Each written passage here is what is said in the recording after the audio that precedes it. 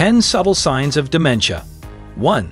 Frequent forgetfulness of recent events or conversations. 2. Difficulty in finding words or expressing thoughts. 3. Confusion with time or place, such as getting lost in familiar surroundings. 4. Struggling to complete familiar tasks, like cooking or managing finances.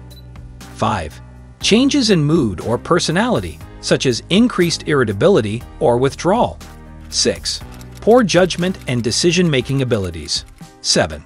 Difficulty in following or joining conversations. 8.